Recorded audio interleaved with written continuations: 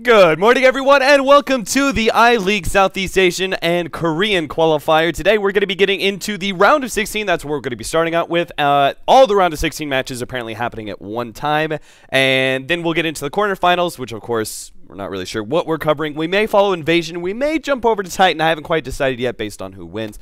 Um, but our first match is going to be Invasion Esports versus uh, MVP Hot 6. Now, this is not the normal MVP team that you're used to seeing. This is their B team. Um, the B team has been changed around a number of times. Um, and I've actually know a, a, number of these guys. It seems like every single new MVP Hot Six, I, I know at least a couple of the guys um, from from back in the day. A lot of them are like you actually get a lot of chance to meet some of the Korean players. Like before Dota 2 even like was out in Korea, we had a bunch of like we had some South Korean players playing um, on North American servers, and um, so you get to you get to know some of those guys and um, once once uh, once Dota 2 started making its full swing in Korea, it's no surprise that they tried to make that jump into uh, competitive play. Even some guys, um, such as a couple friends of mine, traveling over to Korea, similar to what Zephyr did, um, in order to join the team. So. Uh, a couple of names you should recognize from this newest MVP Hot 6 uh, team is going to be Musica, uh, of course, the uh, famed from Team uh, Absolute Legends. Uh, Banwa, you may know. Uh, I'm not sure.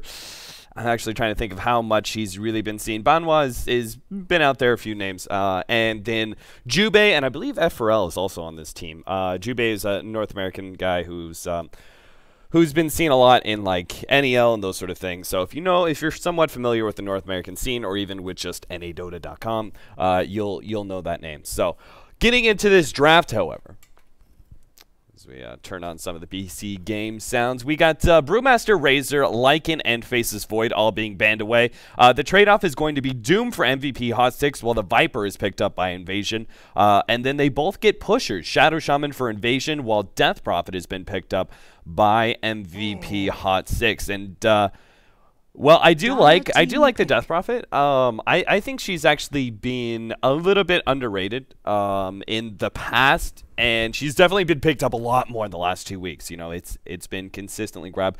Um, but one of the best combinations I feel with the Death Prophet is being run with that off lane Faceless Void because so much of Death Prophet comes down to solid disables, and um, and that that's something I feel is is like most notably remaining. the weakness of Death Prophet in in lineups that she's picked up, and that Five the enemy team just doesn't remaining. pick enough controlling heroes to be able to protect the Death Prophet. Because if you go into those five versus five man fights, and the enemy team is just able to focus down the Death Radiant Prophet, uh, she builds into tank, but she's not necessarily that naturally tanky. So um, when it comes to straight up focus, she can easily be taken down, even if she does have certain defensive items like uh, a mech or a Eul Scepter.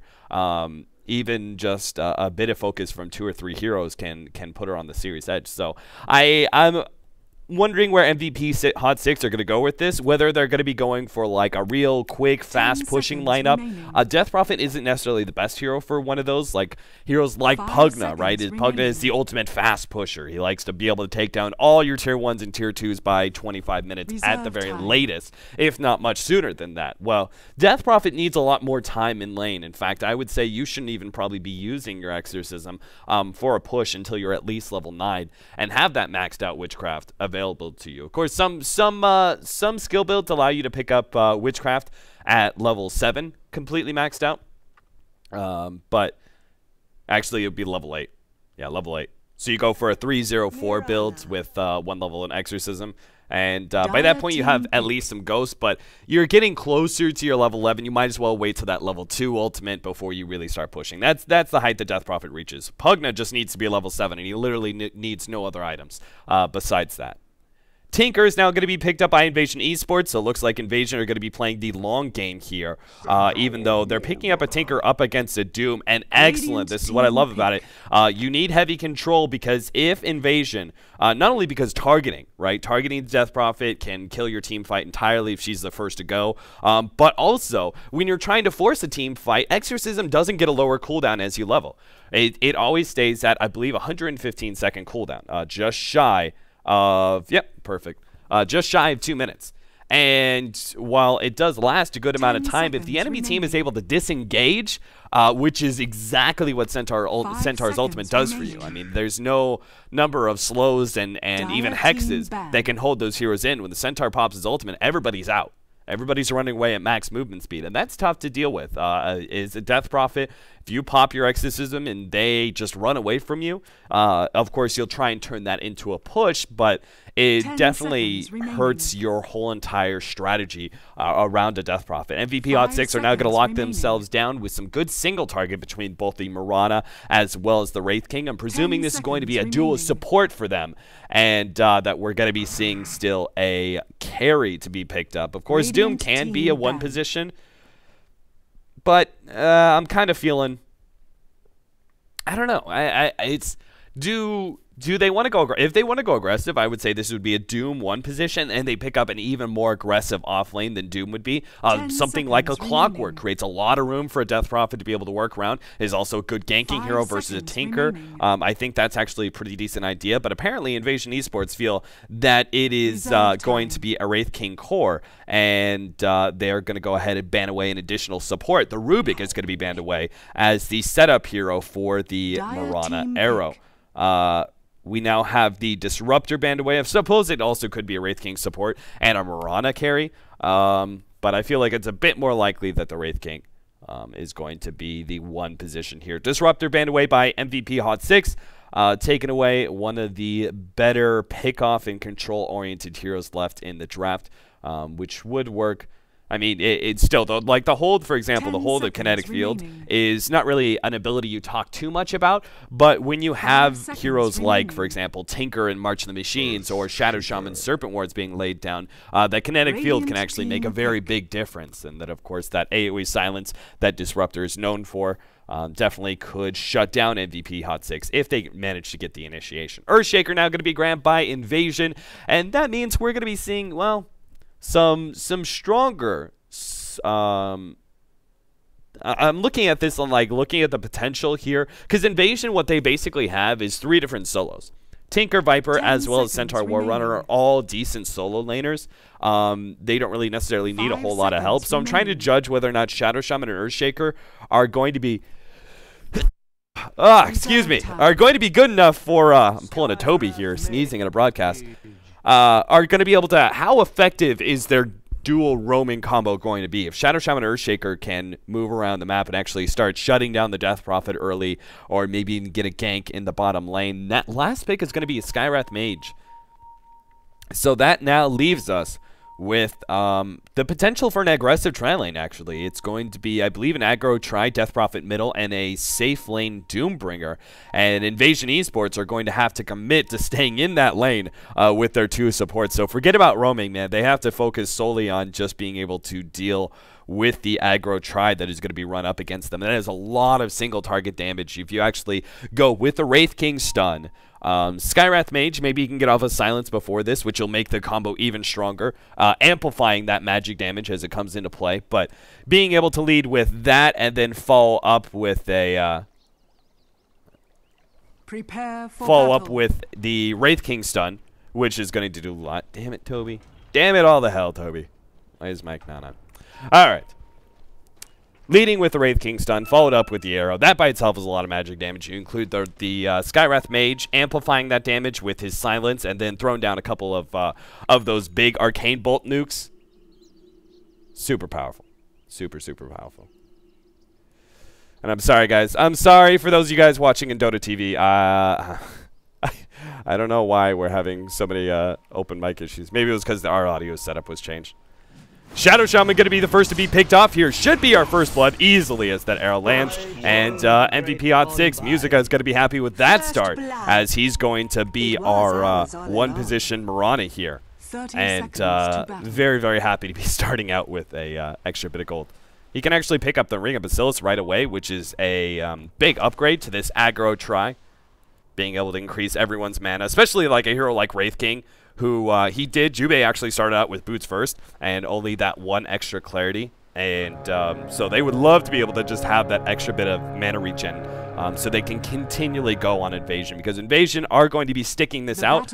Um, looks like they're going to be running at least a defensive dual lane between the Viper and uh, and Earthshaker, Shadow Shaman should be going up to join him because there's nowhere else for him to really go.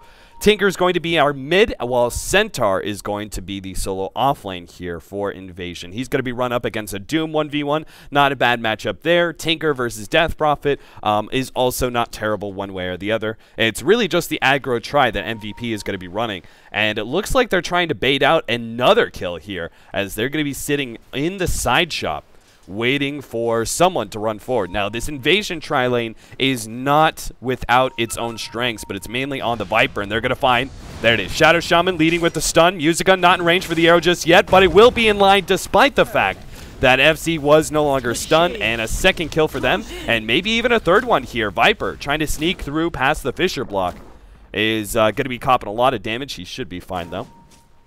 And a great start for uh, MVP Hot 6 going up against Invasion, who I would say is actually the more favored team right now. I know a lot of people don't know Invasion, um, as they're a team that kind of came up right as TI was getting in full swing and, um, and even the post-TI uh, fallout there. Invasion was a team that was actually doing really well in the Southeast Asian scene, but no one was paying attention to it because everybody was like, oh, the international, the international. Well, uh, Invasion were actually kicking some serious ass in uh, some of the tournaments, such as the joinDOTA League and, um, and others. So, the. Um, I would actually say Invasion is a bit more of the favored squad here. And MVP, uh, at least this Hot 6 lineup, I haven't had the opportunity to see it very often. And uh, it seems to be going very well so far. Checking out some of the other solo lanes. Uh, of course, the Doom is going to be having a great time as he's going to be maxing out Devour. Um, that's a pretty farm-heavy lane. He doesn't have to worry too much about getting killed by the uh, by the Centaur as long as he stays above, you know, that uh, 5, maybe even 450 health area. He's he's not going to have any issues with Centaur. Um, so it should be a farm battle back and forth. And then the middle lane, Tinker versus the Death Prophet looks like is going the way of the uh, Tinker for now. But I would say the Death Prophet should start picking up as uh, level 3 and level 5 are very key levels for her, maxing out that Crypt Swarm. And uh, will make a big difference. Because obviously those first couple levels, Crypt Swarm isn't as good. Uh, it's not as reliable for CS. And that's where you have to rely maybe on more auto-attacking as a Death Prophet. And the laser will start shutting you down a bit. So... Still, though, very, very even CS score um, everywhere you look. Centaur falling a bit behind the Doom, but I think that's slightly to be expected. I mean, Doom does have that free CS with Devour um, every uh, every 60 seconds or so. Looks like, uh, well, they're done with this aggro tribe. Well, they're going to be, they can actually wrap around and try and catch out one of the supports, but I think it's more likely that they want to shut down the Tinker. Uh, Tinker being such a high priority target here for MVP, I would have expected them to smoke up and try and gank him up, seeing as they've already shut down the defensive tri lane pretty hard. I don't know. I mean, they did well. Don't get me wrong. I'm not sure if they've done well enough to try and do any diving nonsense into towers, especially up against a Viper. That's a very dangerous proposal. I again, I just feel like it would be much much better for them if they ran a gank in the middle lane, but that's not going to be the case. You also notice the uh, very defensive, very odd ward right here um, from the Radiant side, but also another very defensive ward being laid down. Wraith King does find the opening onto the Viper. Is going to lead up. Good. Fissure block is going to help out a little bit. If Viper can actually just get over the line a bit, they're going to turn around on Jubei. Viper does fall, but they're going to get maybe two in return. As Musica going in for that last hit will be able to secure a second kill. And now even the Earthshaker is going to be forced back. Uh, a two for one there. And on top of that, they traded away a support Wraith King in exchange for a core position Viper and an additional kill on top of that. Rotations on both sides. You look at this. Jubei, since he went down, he's going to be rotating into the bottom lane. At the same time, Shadow Shaman is doing something very similar here. And this should go the way of the, the uh, Shadow Shaman and Centaur. They're going to try go on the Doom, blow him up real quickly. And Ghost trying to get away from Jubei. Good body blocking there from FZ as he makes sure that Jubei is not going to be in range of that last stun that was required to kill him. Middle lane, Tinker. Being dove in, Death Prophet is going to be able to clean him up with the Crypt Swarm. I think Tinker realized he was doomed and just tried to do what damage he could before uh, his death toll. But it looks like the Skywrath Mage coming in was able to get an excellent gank. Barely survived though at the same time. That was happening at the the same time we were covering that uh, bottom fight. Five to two, four and a half minutes in. MVP Hot Six taking a rather early 2,000 gold lead and uh, about 1,100 experience lead as well. So not bad uh, at all for MVP Hot Six. But I, I would say that considering the fact, especially since they, they built such an ag uh, strong aggro tri, uh, it's expected for the, the lanes to go this well for them. Um, or at least go well for them. Maybe not this well. They've gotten, I think, a couple extra kills that maybe they shouldn't have, especially that first blood um, so early on before the laning phase even started. That probably shouldn't have happened.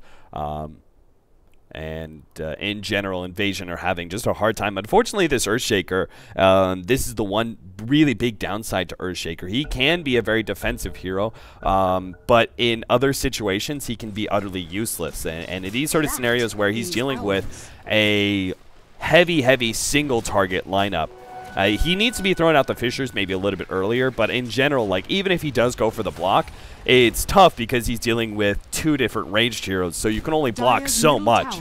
And uh, even then, you saw Musica. The last time that block happened, he just leaped right over the fissure and continued to keep on trucking. Bottom lane has continued to be a dual lane here, but uh, this time around, the Centaur, mainly because the Shadow Shaman doesn't have the mana, uh, I don't think they can go for a kill. The advantages of running Mirana aggro tries, though, is always the fact that your dual lane, uh, your dual supports can just roam around the map and leave the Mirana as a solo offlaner at that point. Mirana is not known for being a very strong offlaner. Back in the Dota 1 days, you would see her a lot, but since everything is being sped up and, and offlaners are being punished more and more and more, um, an offlaner like Mirana is very, very poor starting out at level 1. Um, but if you can actually get some sort of lead, win your aggro, try, and then rotate out, um, Mirana is fine because you still have that escape mechanism and you still have the psychological pressure being put on the defensive tri lane, which is are the two supports actually still here? Are they going to be going on us? And Mirana is able to play very aggressively off of that hesitation. The problem with Mirana as an offlane is that your escape mechanism is not all that strong, but mainly the fact that it's a 30 second cooldown um, is really what punishes her. So she's she's a little bit squishy. She has her uh, escape mechanism. Once you use it, you're down for 30 seconds and can't really approach the lane. The lane. But in these sort of situations, it's perfect for the Mirana.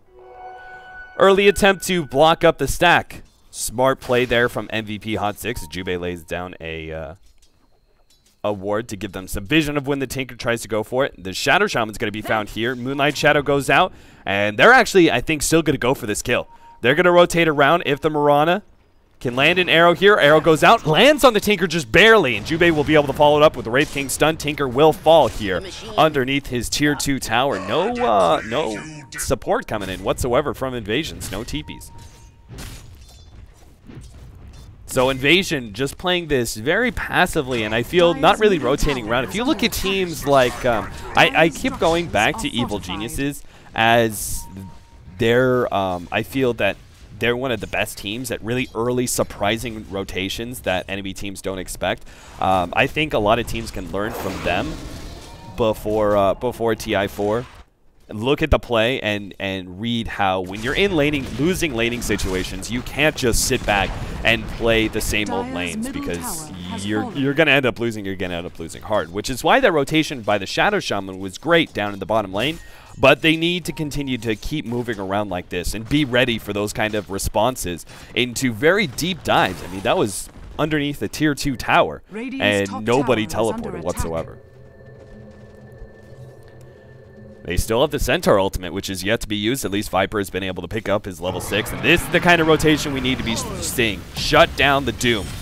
And uh, it's all worth it as long as they actually get the kill. Having four heroes in one lane is not all that bad because now not only do they get the experience for the creep wave as well as the doom kill, but now they're also going to be able to push in this tier 1 tower and get themselves a bit of a gold lead. You know, their, their lanes were clearly suffering. They were falling behind in gold, but an early tower like this can make up a big difference. Um, if they're just able to pick up maybe that faster mech. Radiant's Viper is going for a delayed attack. mech here. He's going to be going for, first of all, the treads, attack. but which isn't that big of a surprise. But the follow-up, it looks like we're going to be seeing a full Ring of Aquila before the mech buy. Uh, I'm not quite Dire's as big of a fan of that. Is under attack. No, no, he's he's he's going for the mech now. He's just going to leave it a Ring of Basilius by the Ring of Aquila a little bit later. MVP are going to make a trade here as they push in the top lane and farm that up. Meanwhile, our Tinker fallen. is uh, going to be looking to farm up his stack here pretty soon. He's about to get to that threshold point where he can um, commit to doing jungle full time and do his ancient stack, and he'll get a Boots of Travel off of that. But first, he needed to be able to grab his Soul Ring. Blink Dagger now picked up by the uh, Centaur, so that is a big upgrade for Invasion. They can be playing much more aggressively. In fact, uh, a hero like Mirana, if you're not paying attention to your positioning, you can, if you're not quick on those re leap reactions, the Blinken Centaur Stomp. Dire's top I mean, uh, Mirana's so squishy, just the double edge is practically going to kill you, but any follow-up nukes will kind of seal the deal. Looks like Death Prophet's going to be uh, banking on picking up a drums with this bracer, but for now you probably need as fast uh, a Eul Scepter as humanly possible, so Eul's, then drums, then uh, trying to build into a little bit of tank is most likely what you're going to be looking at for him. Arrow comes out, not quite enough to cleave the Tinker, and they should realize, I believe Tinker did see that arrow coming by, and they should realize the smoke that's going to be happening. Moonlight Shadow, they may not realize how aggressive MVP Hot 6 are willing to play this, as they're going to be looking for a kill underneath the Tier 2 as they sneak by the Secret Shop. And this is a play that is kind of unexpected. Smoke up, and going to be popped immediately as they realize what's happening. Centaur goes in deep, and the arrow lands on him. That's going to put a stop to that aggression from Invasion. They actually hold in Jubei there, and they are able to take him down. Death Prophet almost gets caught out, and the Viper keeps on moving through these supports. Going to try and take a second one, forced to back up a little bit. March of the Machines doing a great job giving them backup, but they overextend themselves as the Death Prophet comes back in, and now the Earthshaker even in some serious trouble. Triple kill going the way of the Death Prophet. Huge mistake there from Invasion as the Centaur popping his ultimate and just ramboing in like that was a big mistake. Ended up getting caught out by a nice arrow that was thrown by Musica. Even then, they had a bit of a return there as the Viper continued to move forward. They almost killed the Death Prophet, but they didn't. They couldn't really commit to getting that kill. And if you can't commit to taking down this Death Prophet, there's uh, no point in you to continue to try and fight like that. Fortunately, Marching Machines will be able to protect their towers as MVP Hot 6 are going to be forced back. But still, they're going to be happy with the position they're in. Wraith King needs to farm up his level 6. That's why he didn't have his ultimate in that last team fight. Hasn't even acquired it yet. These supports, I mean, they've got some levels. I'll give them that. Due to the fact they ran dual lanes, uh, about halfway through the laning phase, both the supports have picked up their level 6 by now. Unfortunately, they're completely underfarmed. They have no progression into the next set of items, which Shadow Shaman and Earthshaker both need. Uh, Earthshaker is not a hero unless he has a Blink Dagger, and uh, the Shadow Shaman could also use that mobility to be able to set up kills on heroes like Death Prophet or Mirana. Death Prophet already the Eul's Scepter and the Phase Boots. This is like the max movement speed Death Prophet almost. You get a drums, you actually do go max movement speed whenever you pop your phase boots. So they're going to need to rely on Blink Daggers pretty heavily in order to initiate on this Death Prophet. If they can catch her out and do a decent amount of damage or even kill her before she pops that Exorcism, um, they have a shot at being able to take some of these team fights. Unfortunately, they're just falling farther and farther behind as they're losing control of the map, and MVP Hot 6 are actually not slowing down. They're not trying to farm up at all. They continue to keep pushing in and make sure that Invasion don't sit back and farm too much, and that makes sense when you've got a Tinker on the enemy team, especially when he doesn't even have his boots of travel yet. March the Machines will start to be spammed out. Arrow slides across, but no one's going to find it. It's going to be on the Centaur to try and find that initiation.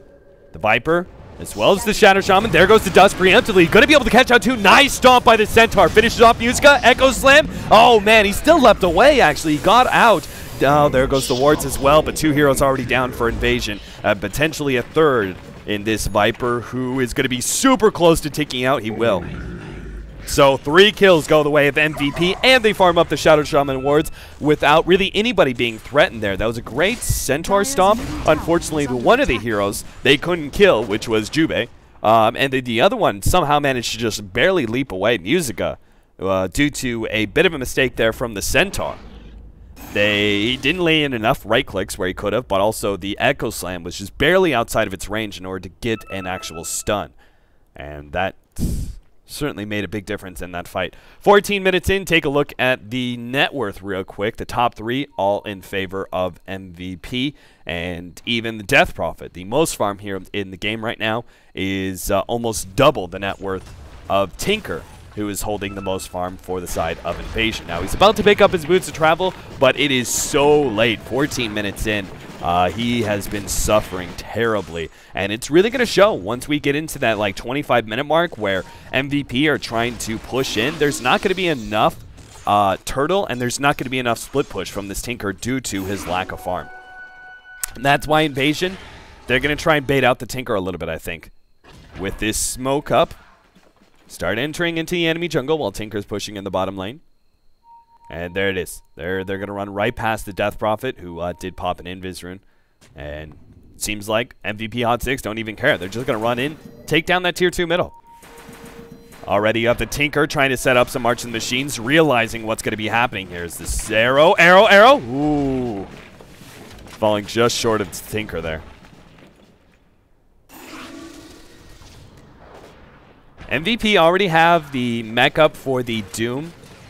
And of course, you would love to be able to have a pipe or something just to give you that little bit of extra tank versus um, some of the magic damage from like Ether Shock and, uh, of course, a lot of the Viper's damage, as well, as the Centaur, but uh, I don't think that's really going to be necessary. MVP Hot 6 just gotta...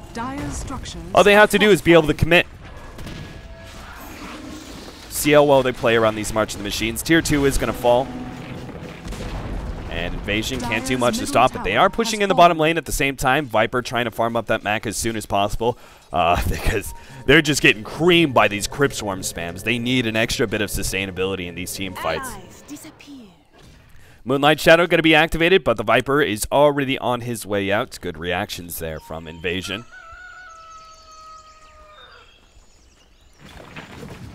But I don't know, man. This Tinker, he, I mean, he's halfway to his Blink Dagger, but while he doesn't, every moment that he doesn't have his Blink Dagger is uh, a moment where he can't actually farm up the side lanes because it's too dangerous at this point. If he gets caught out by the silence from the Death Prophet or the um, the potential setup of Moonlight Chat, Blink Dagger is necessary for as a Tinker to, to actually be able to push out those side lanes. That way you can just teleport in, blink into the jungle, pop march the machines. It makes you a very hard hero. Um, you have to commit a lot of resources to try and catch him out, and you may not even be able to get that kill. It's That's what's so tough with dealing with the Tinker right now in the meta, is that you actually need heroes specifically made to kill Tinker in order to make sure that you just don't end up wasting your time.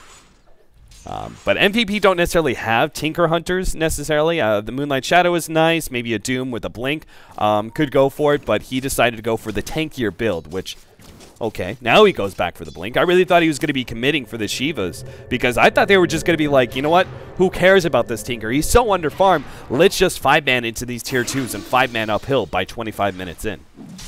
But he gets himself a bit of initiation, which is still going to be super helpful up against this uh, Tinker. Tinker now going to have to be uh, extra careful when he is setting up the Marching Machines to defend that tier 2.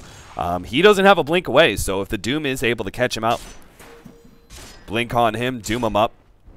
There goes the team fight.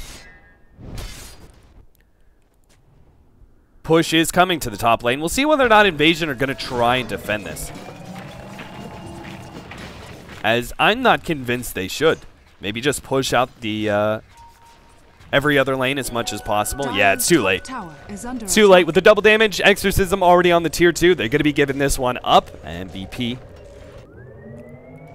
well, instead, Invasion are actually going to try and push in the bottom lane. Unfortunately, Tier 1 tower is already down here, and I don't think they could get to the Tier 2 in time uh, to be able to threaten MVP in any way. So this is going to be kind of a lost rotation for them.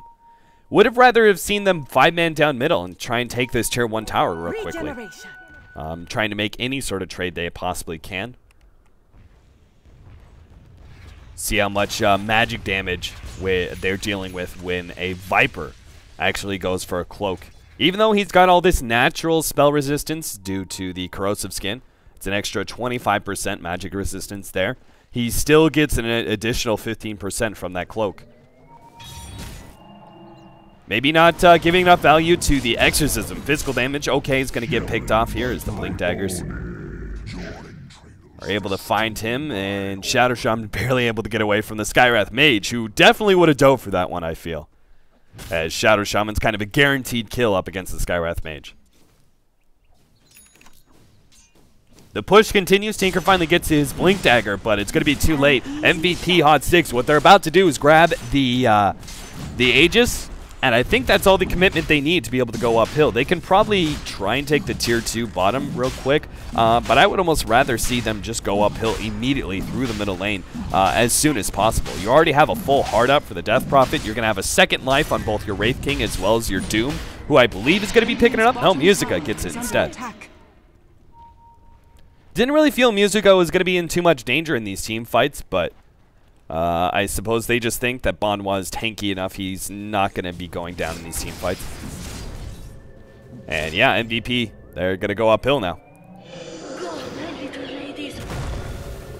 Good, uh, good little Fissure to start things out. Is going to be taking a bit of damage there in the front lines, but certainly not enough to threaten him, especially with that heart that he can always fall back on.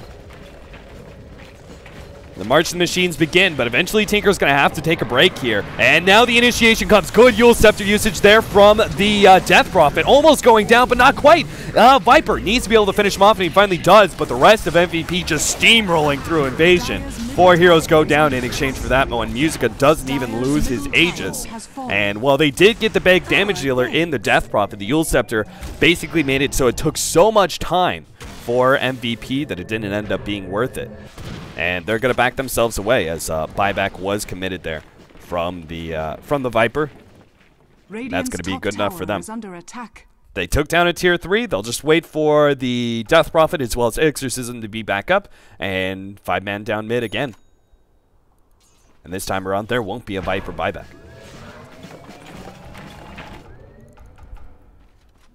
Yeah, the items are just not coming in for the uh, the side of invasion. Like both his supports have their mana boots and Tawan's almost identical, but uh, they're they're nowhere close to get picking up blink dagger or anything else like that. Centaur, he, you know, he had his blink dagger at a decent timing, but since then he really hasn't made much of it because of the five manning of MVP, MVP Hot Six. Um, he hasn't really find the openings to be able to pick off some of these enemy heroes. Meanwhile, MVP are just flooded in items. I mean, even the supports have certain luxury items, such as the Wraith King has a full-up blade mail, the Skywrath Mage has a Force Staff as well as an urn, so an extra bit of sustainability. Very smart play. I, I think that is something that uh, even some of the best professional teams forget, is to be making sure that you have an urn on your team, um, at least one every single game, especially in games like this where your mech may not be enough sustainability. You do need some extra bit of HP to be able to deal with the March of the Machines, and just one person having an urn can make a big difference as you try and siege down those tier 3s and uh, barracks.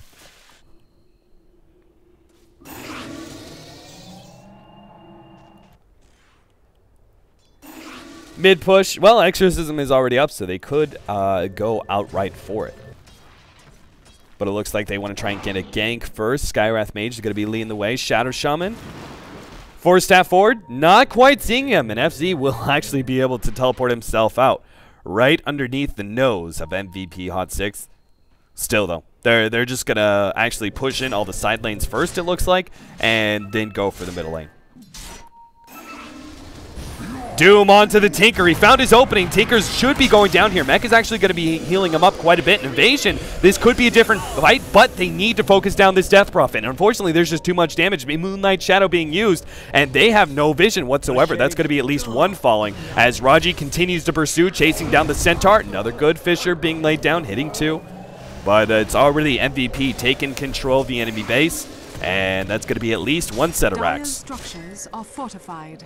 Off of this exorcism, Tinker's just not in a position to be able to defend quite yet. He's going to start spamming out his first march of the machines, but every time he gets close enough for one march, he puts himself in danger of being picked off.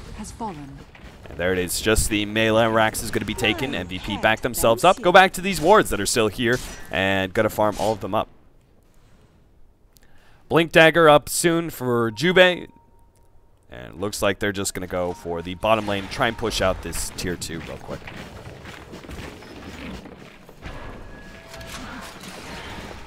Tinker, well, he's getting desperate. He's getting desperate. He's going to start hard pushing some of these lanes where he can. Uh, but I, I, think it's a bit too late for that. Stun comes out from OK, but massively overextended himself. He's going to be silenced up. Banwha jumps in even deeper, but they just get the Earthshaker kill. Back up, get the tier 2, 20 to 5, 24 minutes in, and we are on the verge of seeing a GG call, I think, from Invasion. Just one last death push is all it's going to take for MVP Hot 6 in order to advance themselves from the round of 16 into the quarterfinals. Centaur sitting on the side waiting for his opening as they start going for the Tinker. That's a three-man stump. Unfortunately, they're already going to lose their Tinker, I believe. No, Tinker actually managed to get himself away. Eul Scepter usage, though. Crypt Swarm over the top. Now they get him, as the Centaur will fall as well. Due to the Doom, Banwha's going to get picked off. Jubei's going to lose his reincarnation here as the last pick comes in. Exorcism going to be popped, though, from the Death Prophet. And that spells the end of the team fight for Invasion. They're just going to be chased out. Mark, a lot of March in the Machines damage being laid down on them as another March goes out. Jubei actually barely able to survive the war. It's not quite enough. And there it is. GG being called by Invasion. Team wipe there for MVP Hot 6. Well played by uh, well played by the MVP B squad as they've actually made themselves into the quarterfinals by taking down Invasion. A pretty strong Southeast Asian team that was providing some good upsets in the past. So well done by MVP. And that means we'll now move on into the quarterfinals, which should be starting in 15 minutes time. So stick around, guys. That's going to be coming up next.